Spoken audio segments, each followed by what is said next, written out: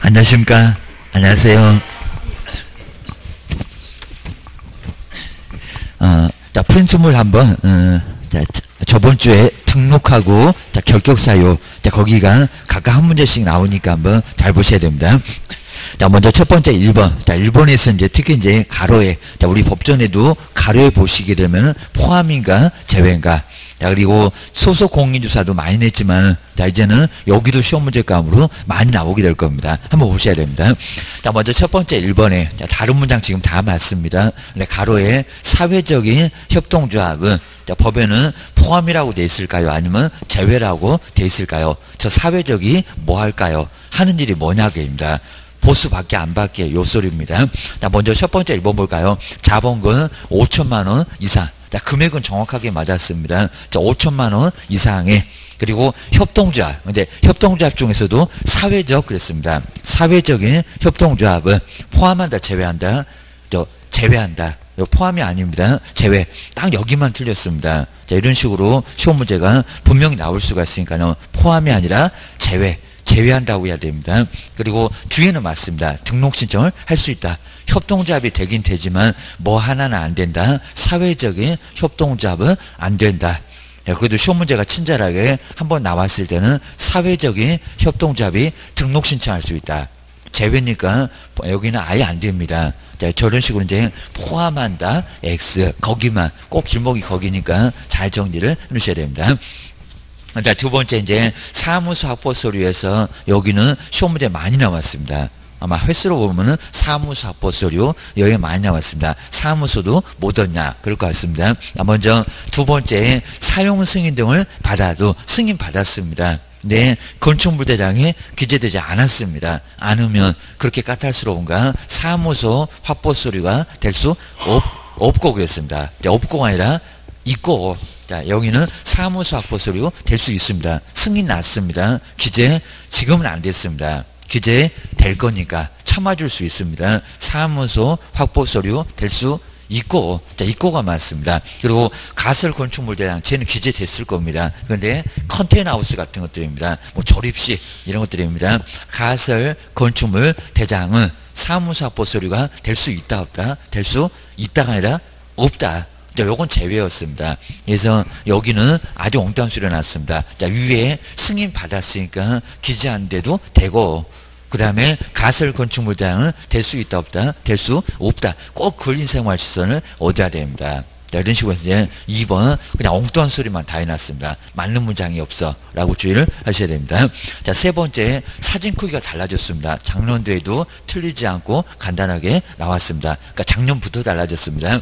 자, 세 번째 등록 신청할 때는 반명합판 그죠? 반명합판 사진 3cm, 4cm입니다. 0.5가 적습니다. 반명합판 사진을 제출을 해야 된다. 그렇게 제출하면 어떻게 됩니까? 저기 쓰레기통에 들어갑니다. 정말 안 됩니다. 반명합판 말고 여권용 그러니까 외국 나갈 일도 없는데 여권용 사진을 찍어야 됩니다. 사진 지금 다 달라졌습니다. 응시원서 사진도 달라졌고 자격증, 등록증 모두 달라졌습니다. 어떻게 해요? 여권용으로 아예 달라졌습니다.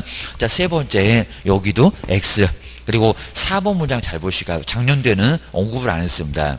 자, 언급 안 하면 꼭 요번에는 시험 문제 낼 거야. 자, 먼저 실무 교육 수료 확인증 내라. 근데 안 내는 경우가 생겼다.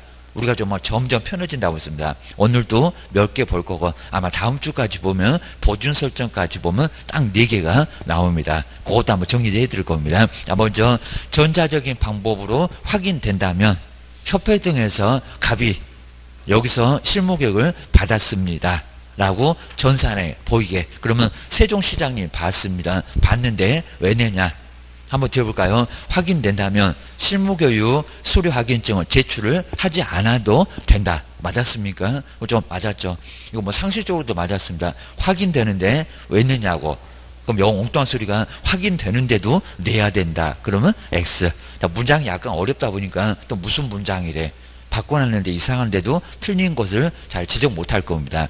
4번이 맞습니다. 전자적인 방법으로 확인되니까 실무교육 수료 확인증은 낸다 안 낸다 안 낸다 안 내도 된다 라고 주의하셔야 됩니다. 이것도 작년도부터 달라졌네 주의하셔야 됩니다.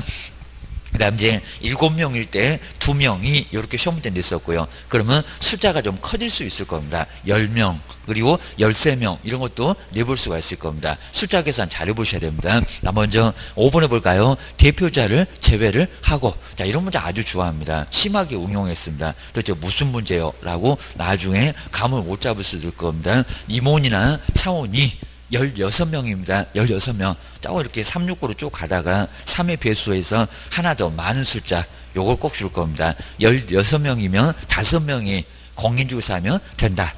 그러면 3분의 1의 조건을 맞췄냐고 계십니다. 못 맞추면 여기도 또 쓰레기통에 들어가고 계십니다. 안 돼. 등록신청 받아주질 않습니다. 자, 먼저 16명이면 15명 쭉 가다 보면 369로 쭉 가다가 15.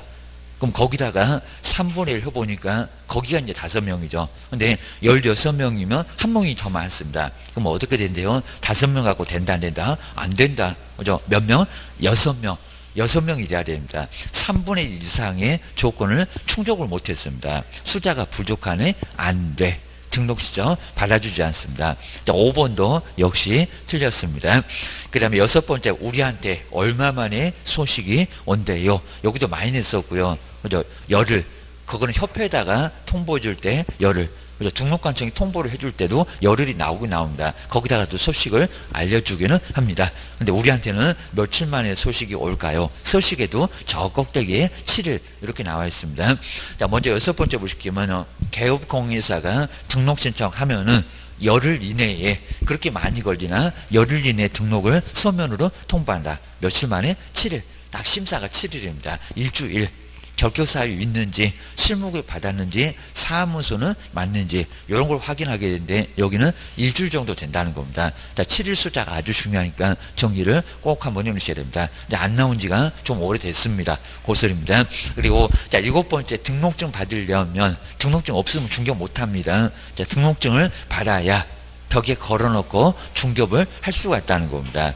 근데 등록증 받으려면 뭘 해야 되냐고 입니다.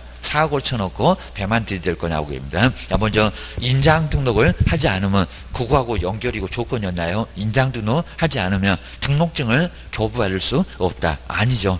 자, 인장 등록이 아니라 보증 설정, 보증 설정입니다. 보증 설정 하지 않았을 때입니다. 그래서 시장님 보고 보증 설정한 거 확인하고 그리고 등록증을 지체 없이 교부하라고 있습니다. 그게 법전에 조목조목 나와 있다는 겁니다. 여기는 X, 인장등록 고용신고하고는 전혀 관련 없어요. 게입니다. 여기는 등록증 받고 싶으면 보증 설정해라. 법인은 주된 사무소 2억, 우리는 1억, 분사하면서도 1억 주의하셔야 됩니다. 그거 이제 한 다음 주가 한번 또 배우게 될 거고요. 거기도 한 문제가 나오고 금액이 아주 중요하고 그다음에 여덟 번째부터가 결격 사유 좀 어려워하시는 결격 사유. 시험 문제는 많이 심하게는 어렵지 않아요, 입니다. 못 맞추면 또 공장 쳐들어갈 거니까 입니다. 여덟 번째 볼까요? 파산 선고를 받아도 쫄딱 망했으면 뭐라도 대야족입니다. 어디 당첨이라도 대야죠. 그 뭐가 돼야 된다고요? 저 채무로 완지한다고 이게 권리를 찾아오는 그건 아니라는 겁니다. 뭐였더라? 복권, 그죠? 복권이 돼야 됩니다. 채무를 완지하면 그걸 복권 안 됩니다. 선고 저걸 없애야 됩니다. 번, 여기는 자, 채무를 완지하면 등록 신청할 수 있다. 이게 될까요? 안 돼요. 게입니다. 한번 해봐라. 받아주는지 게입니다. 복권. 면책을 받아야 됩니다. 복권 절차 거쳐야지 등록 신청을 할 수가 있다는 겁니다. 이거 엄청 까다로워요. 주의를 하셔야 됩니다. 누가 망하래 그럴 겁니다. 주의하셔야 됩니다. 망하면 정말 중격 못합니다. 주의를 하셔야 됩니다. 그 다음 이제 아홉 번째 자 뭐가 3년 남았고요. 집행 면제 사회에서 사면하고 시효가 합치면 두 개가 유사한 게 있습니다. 정말 시험 문제 내는 분은 유사, 유사한 거 막내 보려고 할 겁니다. 구분도 못하니 그럴 겁니다. 먼저 아홉 번째가 일반 사면 언제 나오더라? 국회 동의 받아서 국경일에 나온다. 특별 사면하고 달라요. 특별한 거 별로 좋은 거 없어요. 일반 사면 안 좋습니까? 게임다. 그리고 공소시효 완성 화성사건 이미 역사적으로 끝나버렸습니다. 시효가 완성되면서입니다. 소재기도 못합니다. 죄인 처벌도 못합니다. 바보 같은 국가 때문에 그러면서 봤을 겁니다. 공소시효 완성은 근데 또 3년이 지나야 된대요. 3년이 경과되어야 등록 신청이나 근무가 가능하다. 아니죠. 언제래요? 즉시 죽시입니다. 그거 말고 특별 사면 그리고 공소시효 말고 형해시효 요 공소시효 말고 형의시효가 생각 잘 안 할 겁니다. 누구한테 형을 선고했는데 집행을 계속 안 한다는 겁니다. 국가가 집행할 생각이 없나 봐. 집행 면제 받고 나온 거. 그놈은 3년 간다는 겁니다. 근데 여기는 3년 간다 안 간다? 안 간다. 안 간다라고 기억을 해주셔야 됩니다. 뭐 자세한 내용들은 필요 없고요. 뭐는 괜찮고 아무 문제 없고 뭐는 3년 가야 되고 요것만 기억을 해주셔야 됩니다. 내용 묻지 않습니다. 그다음 이제 열 번째 계산을 잘했네 볼까요? 집행유예는 뭐만 개입니다. 무슨 기간만 하면서 박스 네 글자 쳐봤고만 개입니다. 먼저 징역 2년에다가 집행유예 자 2년 선고해놓고 집행하면 오히려 망가져. 집행을 뭐 한다고? 보류시켜. 얼마 동안 보류시켜? 3년만. 그래서 집행유예가 얼마? 3년을 선고받았습니다. 그랬더니 5년이 지나야 등록 신청을 할 수 있다. 이보택이 3했나 봅니다. 5년 지나야 됩니까? 아니죠. 몇 년? 3년만, 3년만. 유예기간, 유예기간 3년 그랬습니다. 3년 지나야 등록 신청을 할 수 있다는 겁니다. 근데 해석을 잘못하시면 안 됩니다. 5년 지나도 되잖아요. 또 그러면 3년 지나면 안 되니 그러면 할 말이 없을 겁니다. 그건 절대 시험 문제 안 받아줍니다. 물론 5년 지나면 되긴 하겠지만 3년부터 되잖아요. 3년부터. 그러니까 해석을 잘못해갖고 혼자 소설 쓰시면 절대 안 된다는 겁니다. 절대 안 받아줘. 답 자체가 황당하다고 할 겁니다. 그렇게 해석했니? 하면은, 아, 말이 안 됩니다. 절대 안 받아줍니다. 3년, 3년 지나야 등록 신청이 된다.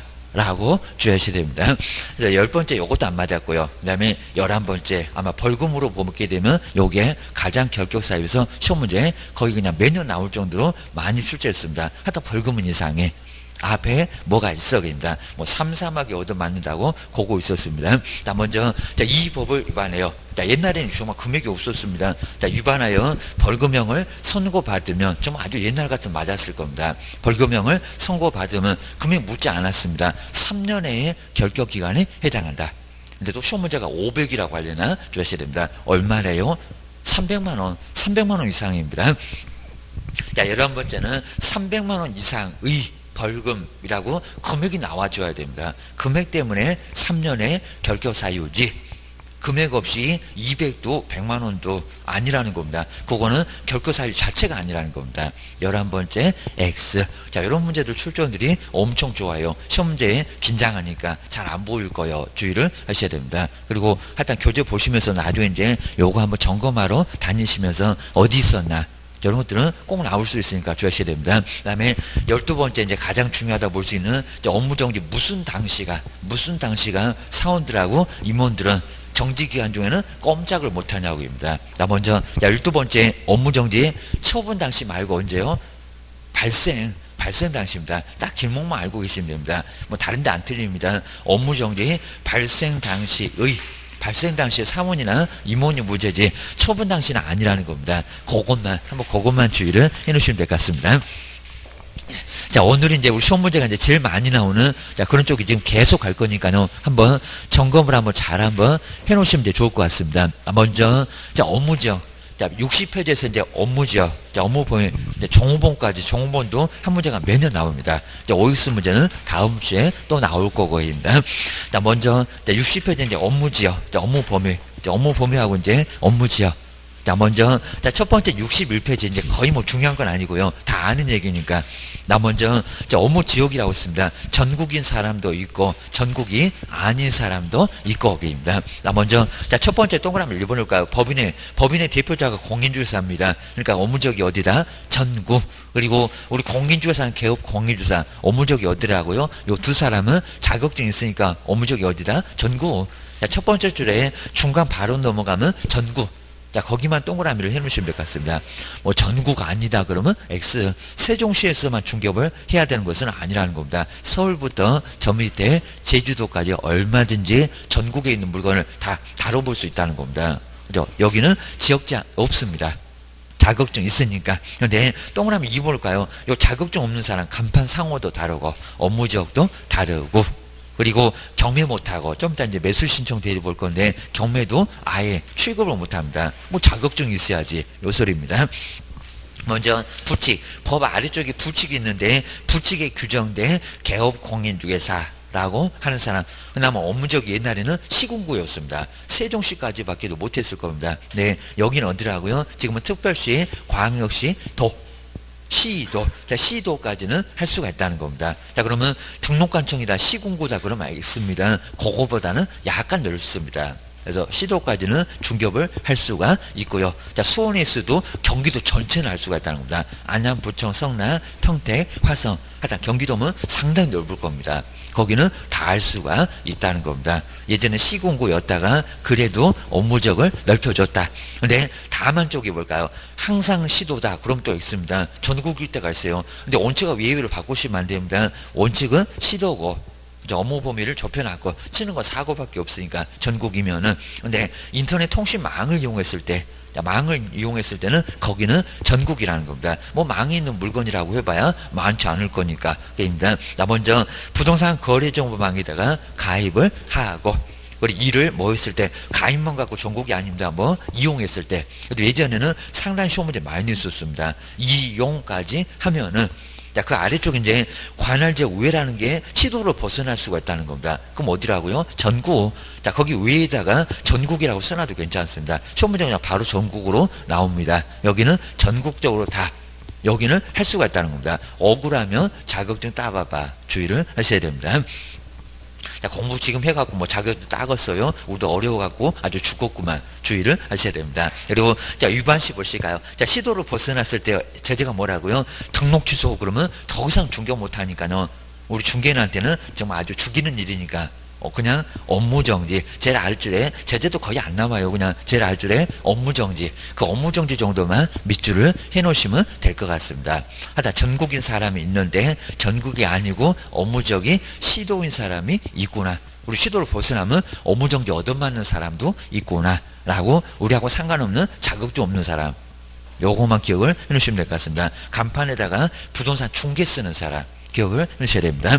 자, 뒤로 한번 넘겨보시고요. 그 다음에, 자, 중개대상물. 자, 중개대상물은 물건 아예 안 따집니다. 저 부칙도. 자격증 없는 사람도 토지부터 시작해서 공장재단, 광업재단까지 할 수 있다, 없다? 할 수 있다. 자, 오히려 특수한 농, 에, 특수한 법인들. 여기만, 자, 여기는 농지만, 조합원만, 그리고 산림조합만 산림조합, 산림조합에서는 산림만 이런 식으로 거기가 오히려 물건 제압받고요. 나머지 우리 부치까지도 물건 다섯 개는 똑같이 할 수 있다는 겁니다. 그런 것들은 잘 안 물어봐. 차라리 지역을 물어볼 때가 많아요. 지어놓으셔야 됩니다.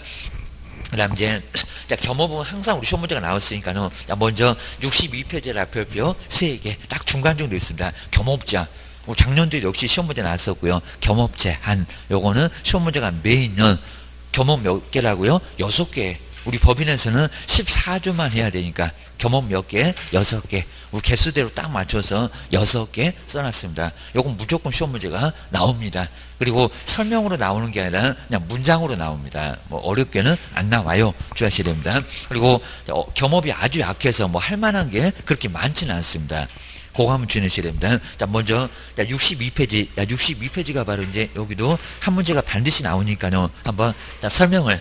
자, 뭐 첫 번째 뭐 들어봤을 때 이제 어느 정도 조금 감을 잡으셨으니까요. 자, 62페이지가 이제 겸, 어, 자, 겸으로 할 수 있다. 중격하고 이제 겸해서 딱 몇 개가 있다고요?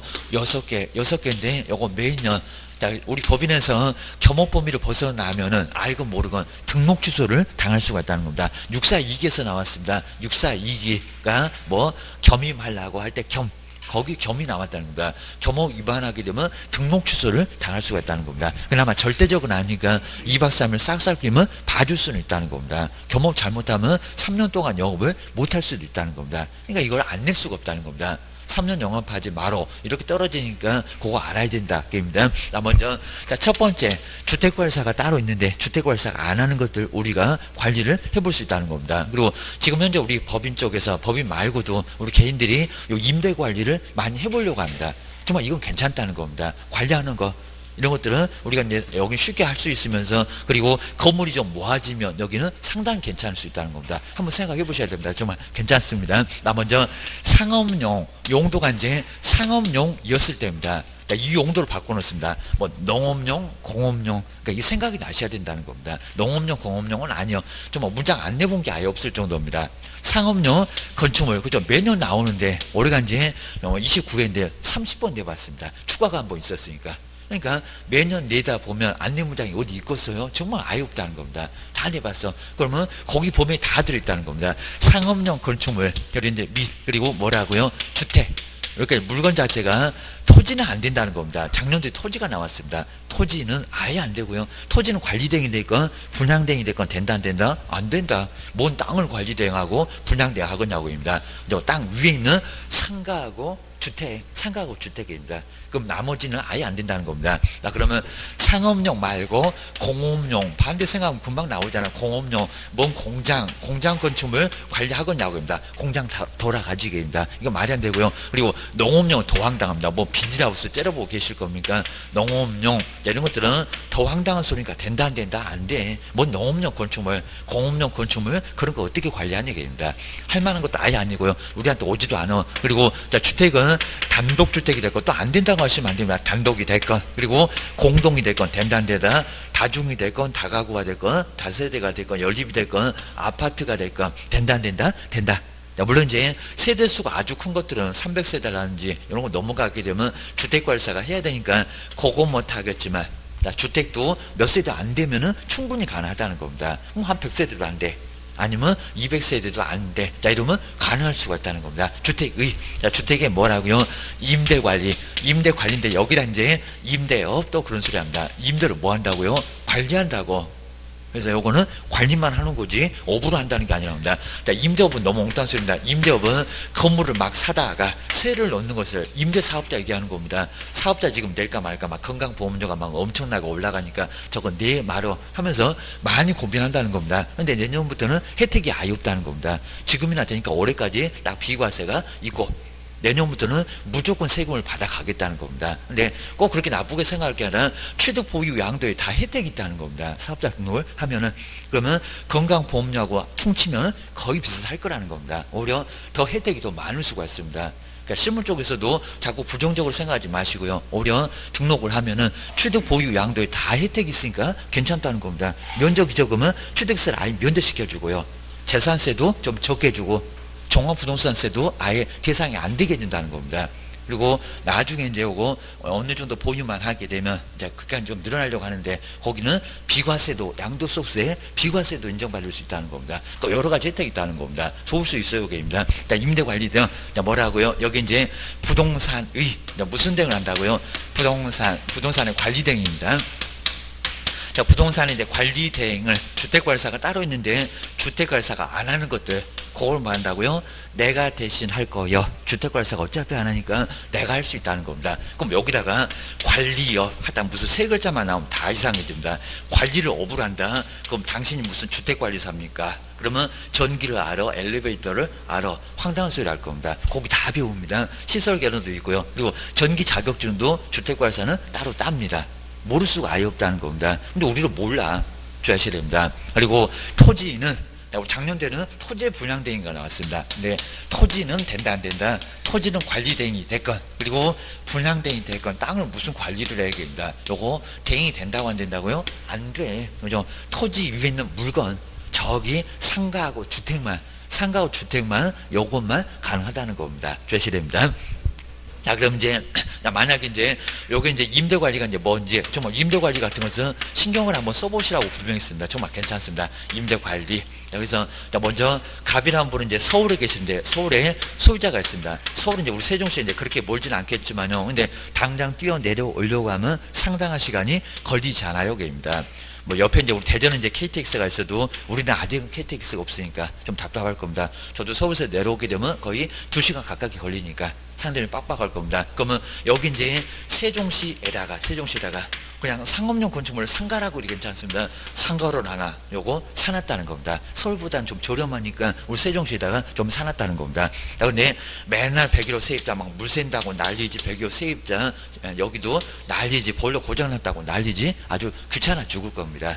그러니까 이제 서울에 계신 분들이 지방에다 좀 투자를 하고 싶어도 관리가 좀 어려우니까요. 저도 많이 들어봤습니다. 그래서 뭐 세종시가 됐건 저기 충남이나 이런 서산이나 이런 데 가보면 한 20억 정도 되면 월, 예, 월세가 월세가 거의 천만 원도 나온다고 합니다. 그런 상가가 많아요. 정말 그렇다는 겁니다. 지금 뻥치는 거 아닙니다. 그렇게 많은데 서울에 계신 분이 거기를 언제 내려가 해갖고 여기 주변에 있으면 사겠다고 합니다. 근데 서울에서 그런 거 사봐라. 서울은 월세 200도 안 나올 겁니다. 많이 안 나올 겁니다. 규모가 크다 보니까 그러니까 저걸 살까 말까 하는데 이걸 관리를 세종시에 있는 누가요 상가를 누가요 세종시에 있는 우리 개업 공리주사가 뭐요 내가 관리해 줄게라고 하게 되면 요게 바로 임대 관리가 된다는 겁니다. 근데 자 주할게 매월 볼까 매월 저거 하나만 보면 얼마 안 합니까? 저거 왜 할까 그럽니다. 한 10만 원에서 20만 원 대바박입니다. 근데 요 건물 자체가 한 10개만 대보라는 겁니다. 10개. 그러면 100만 원에서 그냥 고정 수입이 200 정도는 나올 수 있어요, 없어요? 있, 있다는 겁니다. 그러니까 이런 건물 분명히 좀 관리가 좀 잘 안 되는 거 그리고 세종시에 살고 계시면 뭐 상가 같은 거 관리 좀 어려워하시는 막 직장을 나간다든지 아니면 또 세입자 나 저것들 보기 싫어 해갖고 누가 좀 관리 좀 해줬으면 좋겠다 그런 분도 많이 계시다는 겁니다 세입자 만나는 거 충돌 좀 싫어하시는 분들 많이 있습니다 그래서 나중에 여기는 그래서 이제 우리 개업 공인주사가 관리를 해주고 뭐를 받을 수 있다고요 매월 정해준 보수를 이거는 서로 합의하기 나름이니까요 보수 받을 수 있다 보다 자 10만 원 20만 원 그, 장, 그 정도 많이 줘버립니다 충분히 된다는 겁니다. 그러면 비가 새네요. 보일러가 고장 났네요. 그럼 우리 개업 이제 없지 않으니까 전화해서 수리하라고. 비용 나왔네요. 소유권자한테 비용 주세요. 해갖고 입금만 시켜주면 요게 바로 관리가 된다는 겁니다. 지금 현재 그렇게 하고 있다는 겁니다. 요거 기억을 잘 넣으셔야 됩니다. 근데 이제 여기서 이제 우리 관리하게 되면서 우리 거제에서 이것도 말씀드렸고요. 컨설팅 업체가 요 큰일 나서 우리도 마찬가지입니다. 요 사건이 주기적으로 계속 나오고 있다는 겁니다. 컨설팅 업체가 그리고 건물을 상당히 많았습니다. 한 100억을 사기 쳐먹었으니까 건물 한 10개 넘게 컨설팅 업체가 관리를 하고 있었다는 겁니다. 근데 여기서 이제 문제가 발생한 게 우리 주인은 주인은 월세로 부탁을 했어요. 월세로. 자 그럼 이제 보통 이제 보증금 보증금이 한 천만 원 정도면 자, 보증금이 천만 원 정도고요. 그다음 이제 천만 원 그리고 월세가 월세가 만약에 이제 30만 원 정도 나가입니다. 30만 원 정도입니다. 근데 이제 주인은 분명히 월세로 이렇게 부탁을 했는데요. 저 컨설팅 업체가 뭐래요? 요거 전세로 내달라라고 전세로 내놨습니다. 전세로. 자, 그러면 요거 전세로 환산하면 얼마가 된대요? 요것도 이제 알고 있어야 됩니다. 나 먼저 천만 원 그대로 놔두고요. 요 놈은, 자, 옛날에는 요게 삼천 정도가 됐습니다. 삼천. 그랬었습니다. 그래서 이제 다 월세 한 만 원 정도가 그죠 보증금 100만 원 선이었습니다. 근데 지금은 엄청 내려가서 월세로 따지게 되면 이게 우리 주택에서 이제 연 5%가 됐습니다. 완전히 반토막이 됐다는 겁니다. 그럼 얘가 보증금 따지면 6천 정도가 있는데 6천.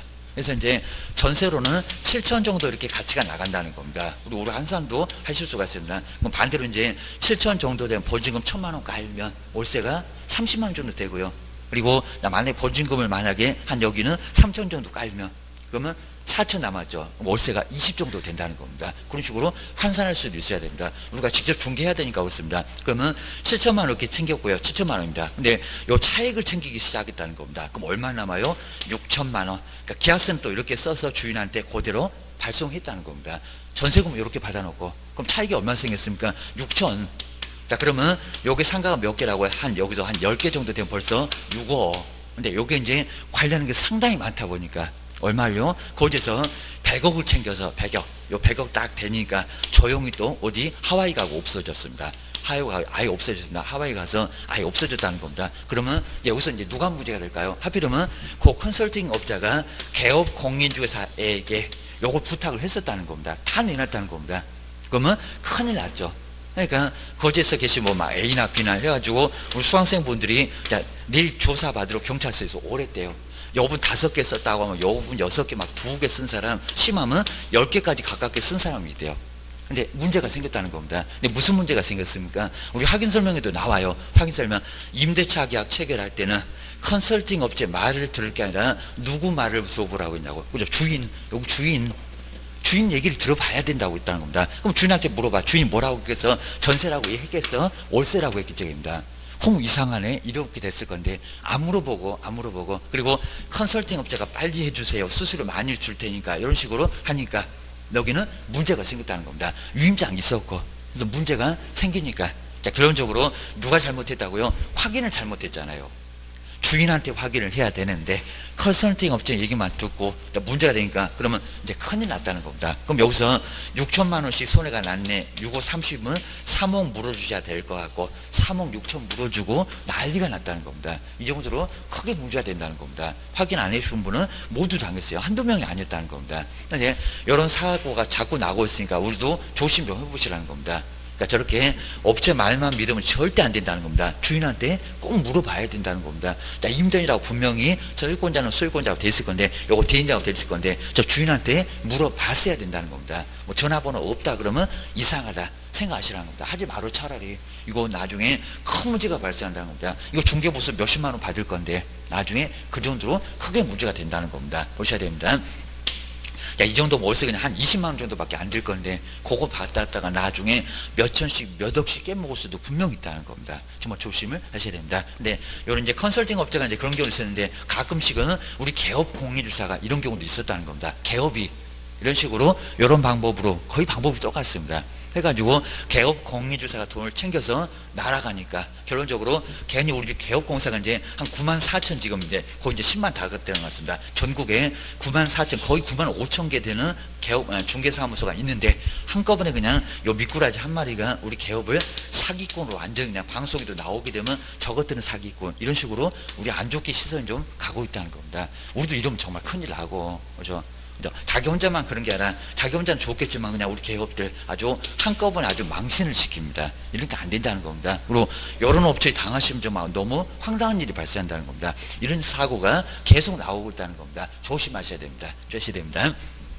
그래서 하여튼 이런 관리 같은 것은 순수한 취지는 아주 괜찮다는 겁니다. 한번 생각을 해서 그리고 건물마다 그리고 자꾸 빈다 그리고 관리가 좀 어려워서 이게 말이 좀 될 것 같다 하는 것들은 한번 임대 관리를 몇 개 정도 한번 출연하시면 아주 괜찮다는 겁니다. 그리고 한두 개만 딱 해놓으면 제가 이거 전문적으로 하고 있습니다.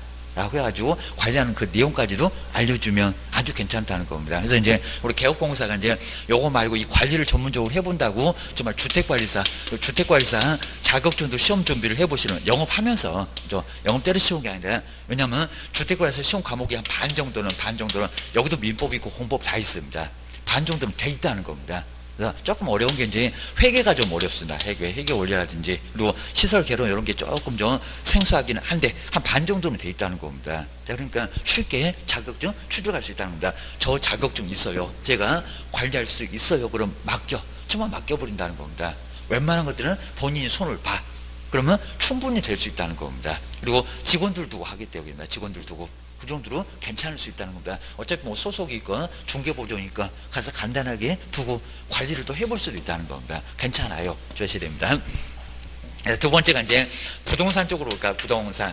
부동산 얘도 괜찮을 수가 있고요. 부동산에 뭐 이용 상담 그리고 무슨 상담 개발 여기다가 개발업 이렇게도 시험 문제 내봤다는 겁니다. 개발 뭐 그 다음에 거래. 근데 뒤에 보시면 뭐라고요? 우리말을 끝까지 들어봐야 됩니다. 상담 그러니까 이용 상담, 개발 상담, 거래 관한 상담이지. 나 먼저 우리 시험 문제 기출 문제가 나는데 뭐라고요? 이제 또 내볼 수가 있습니다. 개발 어 개발을 업으로 한다.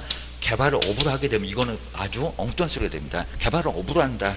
라는 것은 그건 아니라는 겁니다. 그리고 상담이라고 하니까 투자 상담도 시험 문제 내봤다는 겁니다. 투자 상담, 괜히 또 개론 배운다고 투자.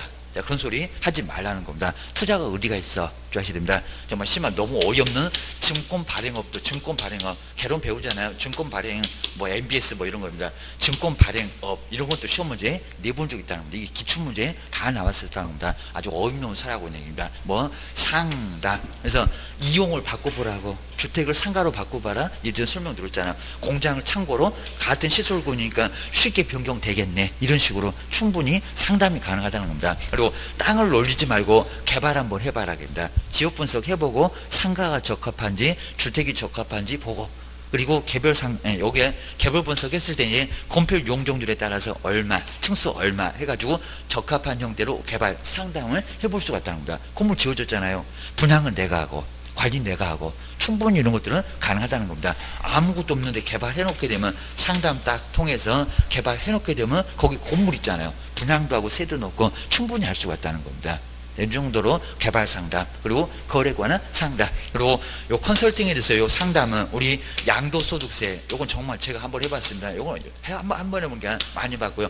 우리 양도소득세는 양도소득세에서 필요경비를 빼줍니다. 필요경비 중개보수만 빼주는 게 아니라 컨설팅도 금액 상관없이 필요경비로 공제가 된다는 겁니다. 이게 빠지니까 양도소득세 24% 15%로 낮추거나 35를 24로 낮출 수 있다는 겁니다. 금액만 딱 맞추면 요거는 충분히 가능하다는 겁니다. 우리 세법 배웠잖아요. 그리고 경비 빼준다는 거 알잖아요. 이런 것들은 충분히 활용해 볼 수 있다는 겁니다. 얘는 또 이렇게 활용해 볼 수 있다는 겁니다. 그리고 잘 통하는 사람들은 정말 이런 것들 꼭 해달라고 집 팔고 그리고 금액이 컸을 때는 요거 양도소득세 이게 아예 탈법이 아닙니다. 절세 절세 효과로서도 충분히 가능하다는 겁니다. 그리고 자료 내봐라 그런 소리 절대 안 합니다. 저도 괜히 그냥 긴장해갖고 자료란 자료는 다 만들어갖고 막 보내주고 했는데 세무서 아무 소리 안 합니다. 그걸로 끝. 세금만 내면 완전히 끝나게 된다는 겁니다. 세금도 많이 안 나와요. 주의하셔야 됩니다. 간이가세를 할 때는 3.3%밖에 안 나오고요. 일반 과세 할 때는 일반 과세 할 때는 이제 좀 많이 받아야 됩니다. 이때는 좀 많이 받으면 우리도 충분히 세금 나, 네, 내고도 충분히 남을 수가 있습니다. 요 상담도 요런 쪽으로 요런 쪽으로 활용을 해볼 수가 있다는 겁니다. 잘 정리하셔야 됩니다. 또 뭔 소리인지 모르면 나중에 합격하시면 전화하시고 입니다. 다음에 세 번째 지금 합격이 중요하니까요. 저것도 신경 쓰지 마시고요. 이제 부동산 나왔으니까 개업 나왔다. 근데 우리 시험 문제가 공인중개사 시험을 준비하는 이렇게도 내본 적 있다는 겁니다. 자 그러면 다른 문장 나오겠다. 개업 공인주사입니다. 개업 공인주회사를 뭘로 해서 대상으로 해서 그리고 중개업의 경영이니까 경영하는 사람 누구요? 딱 문장 보면 벌써 나옵니다. 경영 개업이야지 입니다. 먼 공인주회사 시험을 준비하는 경영 기법이나 그리고 경영 정보에 경영 정보 자, 어느 정도 조금 들어보시면 아 저거 봤다 해갖고 포인트가 뭐다라고 알 수가 있다는 겁니다. 정보의 뭐라고요? 제공. 자, 정보 제공이 컨설팅입니다. 상담입니다. 근데 경영 상담 우리 많이 들어보는 프랜차이즈가입니다. 프랜차이즈가입니다. 뭐 강호동 뭐, 예, 뭐 그런 예, 그런 쪽이나 아니면 또 요즘도 백종원 자주 나오고 뭐 골목시단 자꾸 나오는 거 보면 그거하고 비슷하다는 겁니다. 노하우 알려주고 그리고 거기에 대해서 권리금 비슷한 프랜차이즈 업을 우리도 할 수가 있다는 겁니다. 어떻게 하면 경영 잘하는지 방법을 알려주고 보수를 받을 수도 충분히 있다는 겁니다. 조시됩니다. 근데 여기다 이제 공인중개사 시험은 너무 엉뚱했으니까 그래도 기출문제 나왔으니까 공인중개사 시험을 준비하는 사람을 대상 말이 아니라 아주 무등록 양수하는 거예요. 그리고 임원, 임원 내볼 만한다. 임원도 아니요. 그리고 사원도 아니요. 임원 사원이 경영하니? 그죠. 개업이 경영하지. 근데 소속도 또 내볼 만하죠. 소속은 월급쟁이. 얘가 뭔 경영을 해. 개업이지. 개업 공인중개사만 대상으로 할 수 있다는 겁니다. 다른 사람 다 안 돼. 라고 주셔야 됩니다. 그 다음에 네 번째는 요거하고 똑같습니다. 상업용 이제 안 씁니다. 상업용이니까 다른 용도 안 돼. 상업용 건축물 그리고 주택은 똑같습니다. 요거는 그냥 상가라고 해도 괜찮습니다. 상가, 상업용 건축물 상가입니다. 그리고 밑, 그리고 뭐라고요? 주택, 주택의 내용만 다릅니다. 뭐요? 분양대행도 아주 괜찮다는 겁니다. 뭐 사실 해보면은 다들 괜찮은 게 있습니다. 이런 건 이제 거의 하기 어려울 거입니다. 근데 임대관이나 저 상담이나 이런 것도 분양대행도 괜찮다는 겁니다. 뭐 안 괜찮은 거 별로 없습니다. 여기 이제 분양을 분양을 뭐 한다고요? 대행, 분양대행. 우리 주변에도 건물 많이 짓잖아요. 분양하는 건 뭐 한다고요? 대신해서 할 수가 있다는 겁니다. 그럼 이제 견본주택 이제 지금 이제 모델하우스 아니라고 견본주택이라는 거 견본주택 가서 그리고 뭐 전단지 같은 거 팜플렛 같은 거 달라고 해서 그리고 그 사업 주체 만나보시고 내가 만약에 분양대 대신하면은 사업 주체하고 만나봐서 그리고 수수료 거기 얼마 줄 거냐고 중개 보수가 적용이 안 되니까 만약에 한 2억 정도 된다 그러면 한 여기는 300이나 400 정도는 충분히 줄 수 있다는 겁니다. 한 500도 줄 수 있다는 겁니다. 그 그대로 받을 수가 있다는 겁니다. 그리고 3억대 되면 벌써 500은 분명히 넘어갈 겁니다. 그러면 우리 중개보수 여기다 0.4 곱해봐봐 80만원.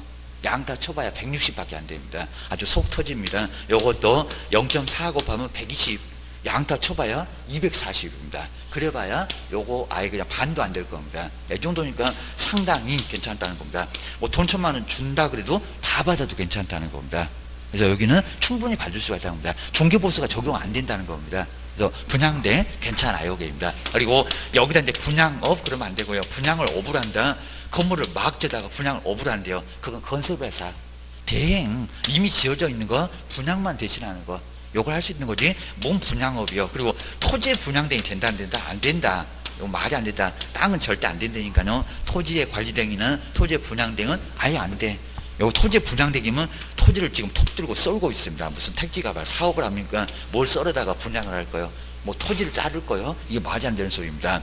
토지 위에 있는 건물, 상가하고 주택의 분양된 주셔야 됩니다. 분양을 대신하는 거, 남이 씌우는 거 대신만 분양해 주는 거, 그 얘기입니다. 그다음 이제 다섯 번째가 이제 어차피 이사 오죠. 중개 의뢰인이 부탁을 하면은 무슨 업체? 요것도 다 안돼봤고요. 이사 업체 그리고 도배 업체 거기다 운영 그려 놓습니다. 또 이사 업체 뭐라고요? 이사 업체 소개 전화번호 소개입니다. 이사 업체 아냐고 이사 업체의 이사 업체 소개입니다. 여기는 이사 업체 이사 업체의 뭐를요? 소개를 소개를 할 수가 있다는 겁니다. 근데 이 사업체 운영 이렇게도 시험 문제 내봤다는 겁니다.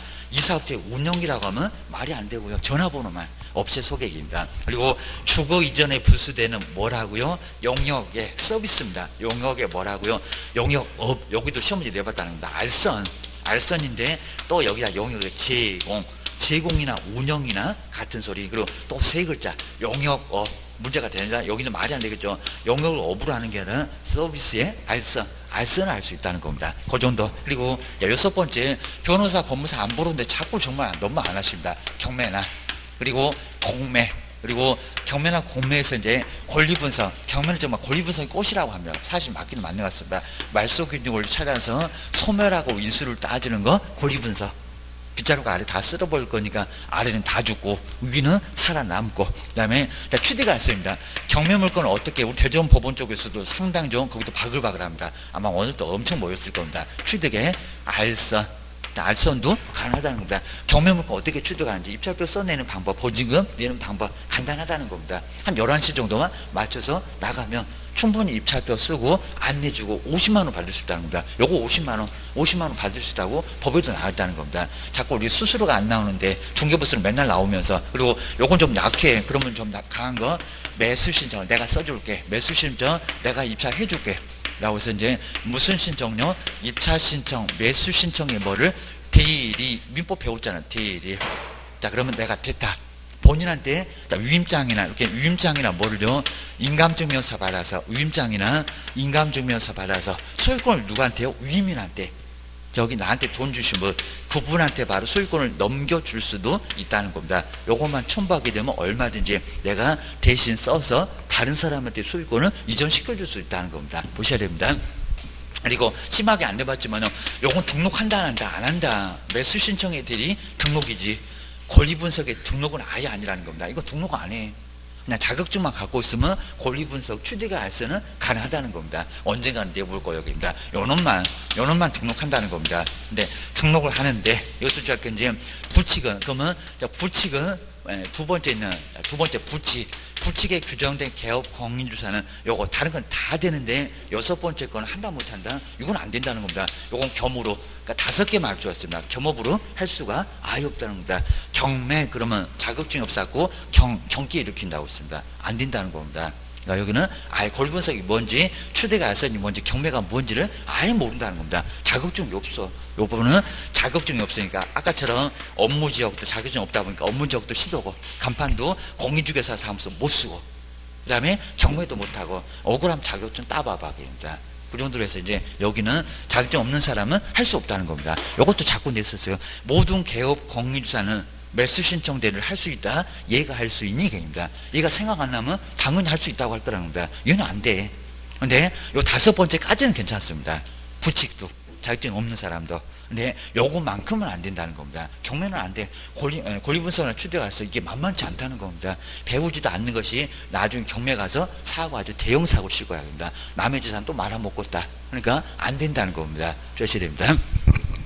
그래서 매수 신청 대리에서도 한번 보실 거고요. 그리고 자 교재로만 한번 보실까요? 교재 내용 절대 보지 마시고요. 문장으로만.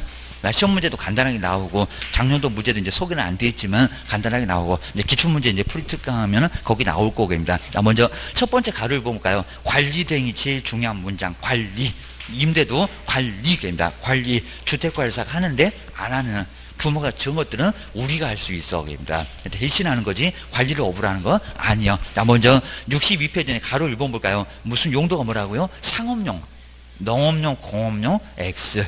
그리고 주택은 다 된다. 그럽니다. 그리고 임대업이 아니라 뭐라고요? 임대 관리. 그리고 부동산에 뭘 할 수 있다고요? 부동산의 관리 대행. 여기다가 관리업.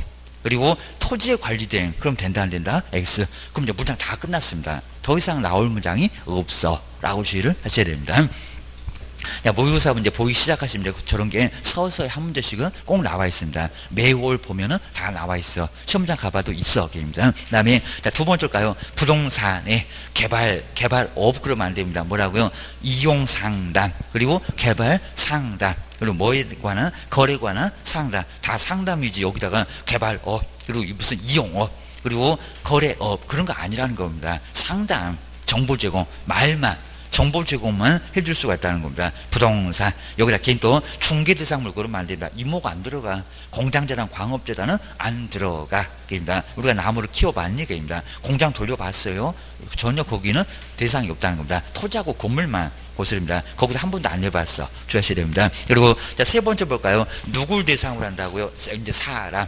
아까 2번은 부동산. 여기는 개업 공인주사를 대상으로 한. 왜요?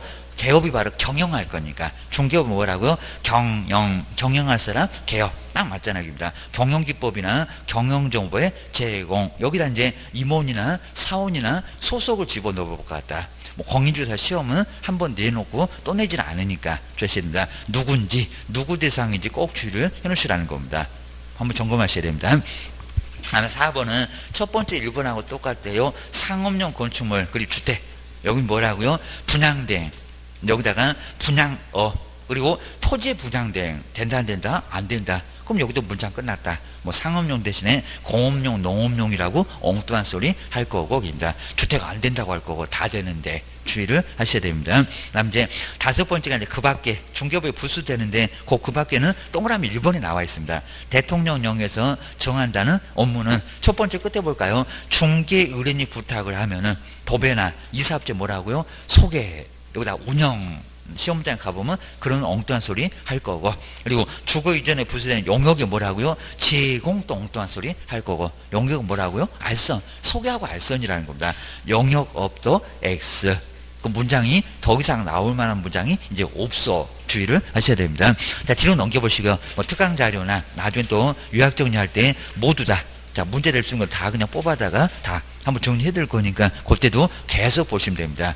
그냥 귀에 딱지만 생기면 됩니다. 그 다음에 경매나 공매 대상 자, 부동산에 대한 뭐요? 자, 바로 권리 분석 좀 빼버렸네. 그 아래 있습니다. 매수 신청 또는 입찰 신청의 대리. 그 아래 문장이 더 정확한데 아래 보시가 두 번째 줄에 경매나 그리고 공매 대상 부동산에 대한 뭐라고요? 권리 분석이나 추대가 알선. 자, 그러면 지금 두 번째 줄에 있는 권리 분석이나 추대가 알선을 등록한다 안 한다? 안 한다. 거기다 등록이 있어요. 저기 지방법원에 가서 권리분석 등록하러 왔습니다. 저거 한정치사한자 그럴 겁니다. 말이 안 되겠습니다. 그죠? 주의하셔야 됩니다. 머리다 삥 꽂고 가시면 저거 금치사한자 또 그럴 겁니다. 비 올 때 가시면 또 비 오는 날 아주 날구지 한다고 난리가 날 겁니다. 가지 마세요. 제발 좀 됩니다. 자격증만 있으면 됩니다. 옆에 이제 매수 신청 이건 쎄. 쎄니까 등록해. 매수 신청, 입찰 신청에 대리. 요건 등록해야 된다는 겁니다. 그리고 매수 신청 대리 등록증은 항상 복사해서 갈 때마다 제출도 해야 된다는 겁니다. 그래야 가능해. 매수 신청, 입찰 신청 대리 연원만 지방보험에다가 등록을 한다는 겁니다. 교육도 받아요. 보증 설정도 해요. 중개하고 따로 해요. 주셔야 됩니다. 그 다음에 자 가로 세 번째 나왔죠. 세 번째. 하여튼 저는 불칙이 아주 끝까지 속색이네. 불칙은 경매를 할 수 있다 없다. 아예 권리분석이 보고 아무것도 못합니다. 억울하면 자격증? 따봐봐. 주셔야 됩니다 시험이 엄청 어려울 거예요 입니다.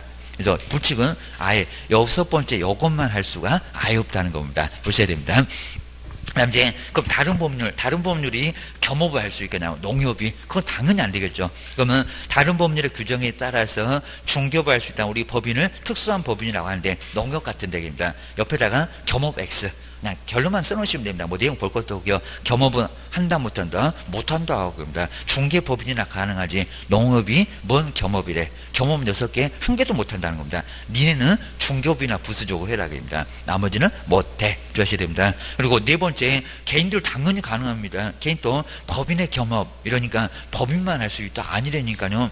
개인들은 더 넓게 할 수 있습니다. 뭐 이런 거 여섯 개 부칙은 아까 다섯 여섯 번째는 경매 그것만 못하고 나머지는 다 할 수 있다는 겁니다. 개인도 돼 충분히 되게입니다. 개인은 더 자유로워. 라고 기억을 해주셔야 됩니다.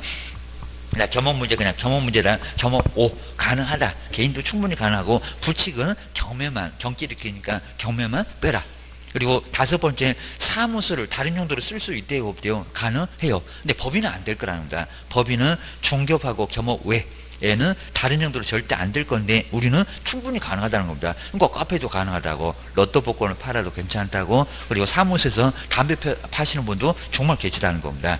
정부한테 좀 맡겨 사장님 거기 쭈그려 앉아갖고 담배 팔고 계시면 아주 모양 빠져요. 주의를 하셔야 됩니다. 그래서 충분히 가능하다는 겁니다. 투잡, 쓰리잡 다 하는데 우리도 다 해. 주셔야 됩니다. 우리 홍보 효과도 있잖아요. 주의를 하셔야 됩니다. 커피 팔면은 그입니다. 자, 먼저 요거 이제 박스에 있는 거 보실까요? 박스면 작년도 문제가 조금 더 좋았는데 요거 한번 보실까요? 요것도 이제 기출 문제입니다. 법인이 개업 공일사가 겸업할 수 근데 형태는 아마 똑같을 것 같습니다. 작년 때는 그냥 선택형으로 나왔고 입니다.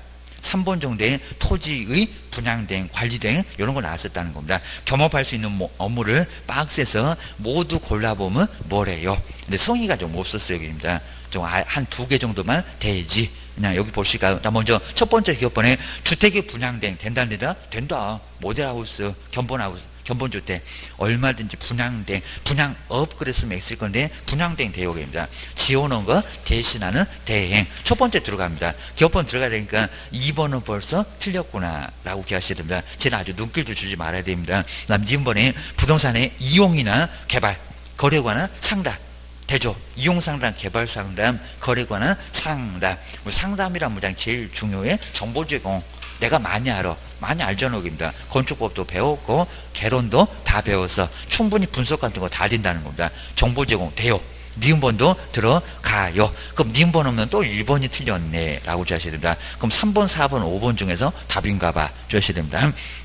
그 다음에 뒷번 볼까요? 중개 의뢰인이 부탁을 하면은 어차피 이사 오니까 이사업체, 도배업체, 소개 뭐 요것도 뭐 틀린 문장 없이 편하게 나왔죠. 소개 맞아. 저기다 이사업체 운영 그랬으면 X인데 그러니까 살짝만 문장이 달라진다는 겁니다. 꼼꼼하게 안 보시면 뒤통수 맞을 수 있어요. 입니다. 디귿번도 들어가야 돼. 4번은 또 디귿이 없네. 그럼 그놈 틀렸고 3번, 5번 중에서 답이 이구입니다. 1번까지 끝까지는 봐야 되겠다. 그입니다. 자, 1번 볼까요? 개업 공인자 개업 맞았죠? 그 사람이 경영하니까 개업 공인사를 대상으로 한 중개업의 경영기법의 제공. 맞아요? 틀려요? 맞아요. 그냥 성의 없이 그냥 네 개가 모두 다 맞았습니다. 이런 문제가 제일 짜증나게 입니다. 좀 틀려주는 게 좀 있어야 되는데 성의 없이 5번 경리언 디귿. 자 그래놓고 또 괜히 또 시간 빼앗게 한번 한 번 더 보고 지금 3분인데 또 보니까 이제 6분 됐네. 다른 문제 어떡하려고 입니다. 이런 문제 때문에 괜히 또 다른 문제, 선언 문제 틀릴 수가 있다는 겁니다. 빨랑 풀어버려야 됩니다. 답은 5번. 5번이 맞았습니다. 아, 뒤쪽에 이제 사무소 설치도 이제 분사무소 때문에 꼭 한 문제가 나오니까 여기도 분사무소 쪽에서 앞쪽은 크게 뭐 중요한 건 없습니다. 나 먼저 67페이지 바로 오셔도 되고요. 사무소. 사무소는 하나만 등록도 하나만 정말 철저하게 개수를 꼭 지켜야 된다는 겁니다. 면적은 안 따져. 근데 개수만큼 아주 철저하게 따진다는 겁니다. 두 개 이상의 사무소 1년야 지역이나 천만 원야 벌금을 당할 수가 있다는 겁니다. 그나마 걔는 하나 없앨 수 있다고 등록 취소할 수 있는데요. 등록을 두 개 하면은 이거 절대적이다가 1학년 일반으로 무조건 입학이라는 겁니다. 그 정도로 아주 크게 문제가 되니까 하나만 사무소는 하나만 설치하라는 겁니다. 자, 뒤로 넘겨보셔야 됩니다. 자, 그러면서 이제 가로 2번부터 가정말 한 개다. 그리고 파라솔 떴다방도 된다 안 된다 안 된다. 사무소 놔두고 왜 또 전단지 나눠준다고 파란솔 쳐놓고 거기서 막 광고하냐고 문제가 된다는 겁니다. 거기도 사무소요 해갖고 두 개 걸리면 문제가 된다는 겁니다. 자, 먼저 첫 번째 나옵니다. 관할군청 안에다가 하나만 두는데 몇 개 든다고요? 하나. 적을 때한 개만 딱 무지르셔야 됩니다. 하다 어떤 경우도 한 개는 한 개 외에 두 개를 둘 수는 절대 없다는 겁니다. 법인도 시군구마다 하나씩 둘 수 있는 거지 시군구에다가 두 개 두면은 거기도 형사적인 처벌을 받을 수 있다는 겁니다. 아주 크게 문제가 돼. 그리고 한 개 외에는 뭐 별로 중요한 거 없으니까요. 그 정도만 그리고 이제 자 2번 볼까요? 자 임시 임시 중개 시설물입니다. 천막이나 그 밖 이동이 요거 들고 왔다 갔다 한다고 방이 떴다 이렇게 우리를 비꼬고 있다는 겁니다. 이동 이용량 임시 중개 시설물 설치할 수 있다 없다 설치할 수 없다는 겁니다. 겸임해서 봤구만요. 등록 취소 내릴 수 있다는 겁니다.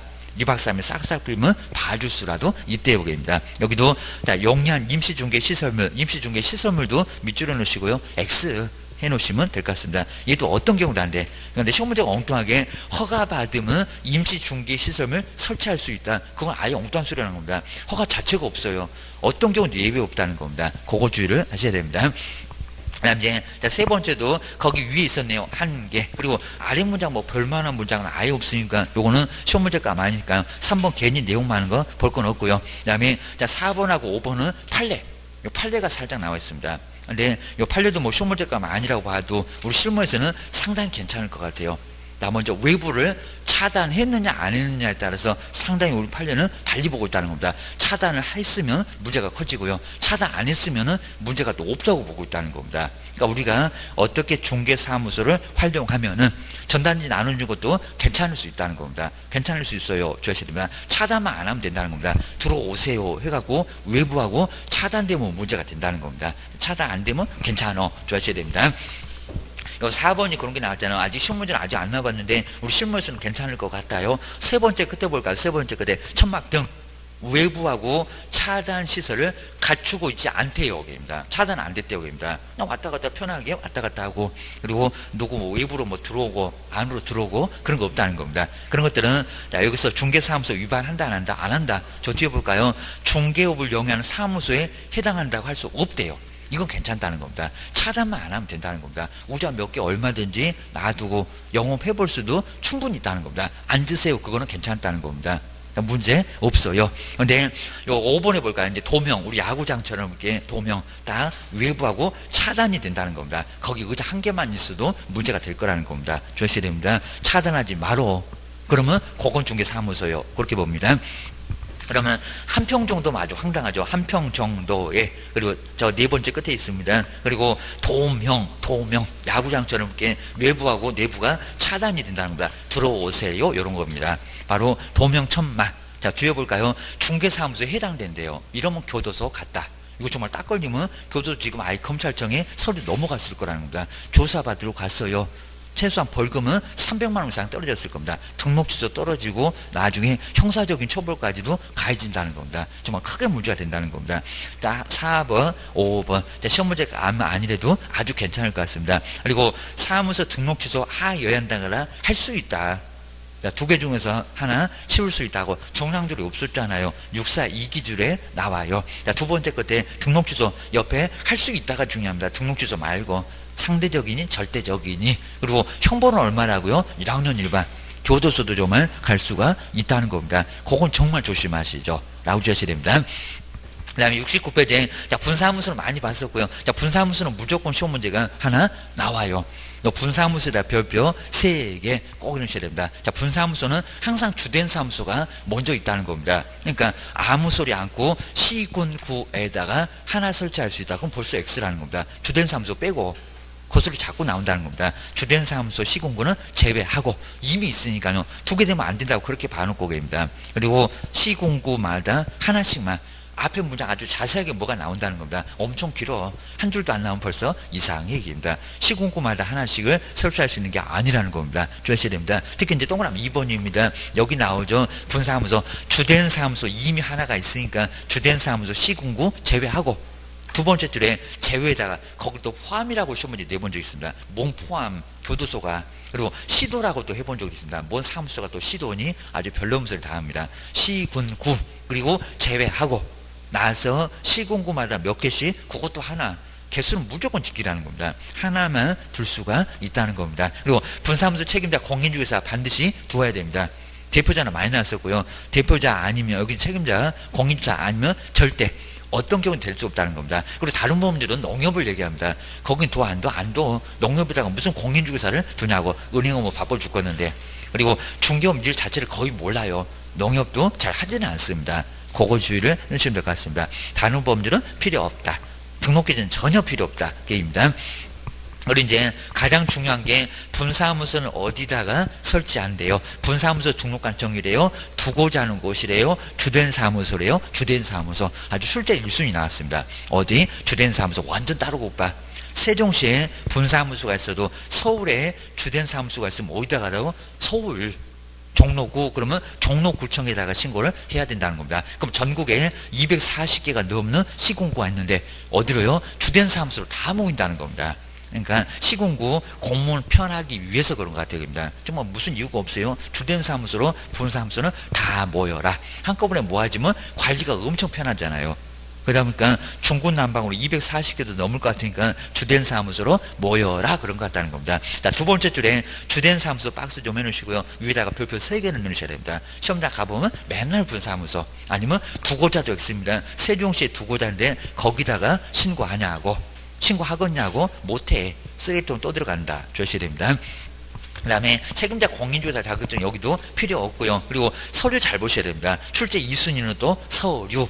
보증 관련 서류가 필요하냐 필요하지 않냐 거기도 또 등록신청을 또 달라갖고 헷갈린다는 겁니다. 나 먼저 책임자는 실무교육 받으셨습니까? 실무교육 수료 또 이다 연수 직무 작년도 직무교육이라고 시험 문제 나왔습니다. 아니요 실무교육입니다.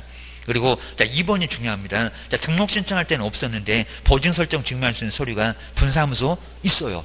여기 꼭 밑줄여 놓으실까요? 자, 등록 신청 X라고 써놓으셔야 하면 등록 신청 때는 없지만 여기는 따로 처리가 안 준다는 겁니다. 한꺼번에 다 가지고 와. 그래서 7일 만에 바로 신고 필증이 나온다는 겁니다. 보증 설정 증명할 수 있는 소리가 필요하다 아니면 안 필요하다 필요하다 여기는 꼭 필요하다는 겁니다. 그리고 당연히 사무소 얻었니 아까 본문장이네요. 가설 건축물 대장 안 되고 사용 승인 등을 받으면 기재되지 않아도 되고 사용 대차까지도 괜찮고 기재가 좀 늦어지면 지원되는 사유 적어내면 되고 하다 가설 외에는 어떻게든 다 받아주려고 아주 세종시장님이 용 쓰십니다. 주셔야 됩니다. 자, 중격 제발 좀 해봐라. 그럽니다. 거기도 수입이 짭짤하게 들어오니까 저 시군구도 좋아해요. 사실은 입니다. 그리고 그 등록 신청 때 잘 볼까요? 등록 신청 때 뭐 신청서하고 실무교육 같은데 세 번째 여권용 사진에다가 꼭 박스 좀 볼까요? 자, 옆에 자, 분사무소는 사진이 또 없어요. 아주 환장해요. 입니다. 옆에 이제 분사무소 신고는 제일 아래줄에 보증 설정 증명서를 거는 박스에 볼까요? 이제 왼쪽에 등록 신청 때는 또 없대요. 그러니까 이렇게 차이가 나니까 요걸 갖고 시험 문제를 2순위로 자주 낸다는 겁니다. 신고도 못하니 그럴 겁니다. 보증 설정 소리 필요 없다. 필요하다. 1억짜리가 먼저 필요하다는 겁니다. 주된 사무소는 필요 없더만 나중에 통지받고 설정하더만 여기는 먼저 설정을 해야 된다는 겁니다. 안 그러면 신고 못해 라고 주의를 하셔야 됩니다. 자 고정되는 건 이제 뒤로 한번 넘겨보실까요? 자 그리고 뭐 나머지는 이제 없습니다. 그러니까 이렇게 분사무소가 간단한데 한 문제가 매년 나와요. 주셔야 됩니다. 그 다음에 신고필증 누가 줄까요? 분사무소가 줄까요? 주된 사무소가 줄까요? 당연히 주된 사무소, 신고받은 주된 사무소. 작년도에는 뭐 분사무소인데 등록증을 이런 식으로 시험 문제 나온 적이 있었다는 겁니다. 너무 엉뚱한 소리고 분사무소 신고고 신고필증입니다. 분사무소 설치 신고를 받은 등록관청은 그 신고 내용이 적합하면 그 등록관청이 주된 사무소여입니다. 그리고 국토교통부령에 설정하는 바에 따라서 신고필증을 교부 그러니까 여기다가 보증 설정하는 사람 소리 없잖아요. 이미 설정했으니까 바로 이렇게 교부를 하고 7일 만에 교부가 된다는 겁니다. 그리고 지체 없이 왜냐하면 엉뚱한 쪽에서 이제 신고를 받았으니까 분사무소 설치 예정 지역을 그러면 우리 세종시 시장님한테 거기 분사무소 하나 들어갔다 한번 나가봐라 그럴 겁니다. 사무소 심사 들어가 바로 여기 분사무소 쪽에서 시장 군수구청장한테 뭐 한다고 통보 이게 법에 나와 있다는 겁니다. 알려라. 주된 사무소에서 알려라. 신고 네가 받았잖아. 입니다. 엉뚱하게. 주하셔야 됩니다. 그리고 자 네 번째 볼까요? 자 신고필증의 재교부인데 동그라미 1번은 금방 나왔던 문장이니까 그거는 놔두고요. 자 2번 가셔야 됩니다. 나 먼저 신고필증 재교부 신청 만약에 신고필증에 기재사항 변경 요 기재사항 변경 상호나 성명 등을 바꿨을 때 책임입니다. 그때는 반드시 신고필증 첨부해서 재교부 신청을 하여야 한다. 등록증 바꿔줘야 된다는 겁니다. 안 하면 제재가 뭐라고요? 업무정지 얻어맞아요. 요건 의무가 있습니다. 그리고 옆에 이제 서식이 이렇게 잘 나와 있는데요. 우리 서식 뒤쪽 이렇게 나와 있습니다. 분사무소 신고 들어가면은 접수하면서 책임자는 맛이 갔는지 교육은 받았는지 그리고 이런 것들 모두 조목조목 사무소는 근생 맞는지 이런 거 확인하니까 그 신고필증 교부까지 며칠 걸린대요. 접수에서부터 저기 신고필증 교부까지 쭉 화살표를 갖고 7일. 얘가 7일 정도 걸린다는 겁니다. 일주일 기다려봐. 그 처리 기간도 꼭 주의하시라는 겁니다. 앞에 우리 등록 신청하고 똑같구만 맞아요. 그리고 아래 볼까요? 엉뚱한 쪽에서 저기 주된 사무소가 신고를 받아 놓으니까 분사무소 소지지 등록 관청에다 뭐 한다고요? 송부 그러면 안 되고요. 뭐 통보 알려 알린다고 했지 서류를 싸다가 귀찮다고 보낸다 그런 일 없다는 겁니다. 통보 옆에다가 송부 X 싸다가 보내는 것은 사무소 무슨 이전했을 때 분사무소 말고 그쪽에는 싸다가 보내도 여기는 알리기만 한다는 겁니다. 그 통보받고 사무소 심사는 분사무소에서 나아가 라고 기억하셔야 됩니다. 교통정리 안 해놓으면 여기 갔다 저기 갔다 아주 어지러워서 죽어요. 주하셔야 됩니다. 한 문제가 꼭 나온다. 주하셔야 됩니다. 작년도에는 저렇게 뭐 통보 이런 부분들도 시험 문제 잘안 나오는데 나왔었어요. 오래되면 이제 틀리게 나오겠지. 라고 주셔야 됩니다. 이제 다음 시간에 공동 사용하고 또 뒤에 이제 더 중요한 게 다음 시간은 더 많이 나오니까요. 뭐 한 시간에 막 두세 개씩이 시험 문제 막 아주 그냥 우르르 나오니까 여기도 조금 정리 좀 해주셔야 됩니다. 쉬었다가 다음 시간에 계속 해 보겠습니다.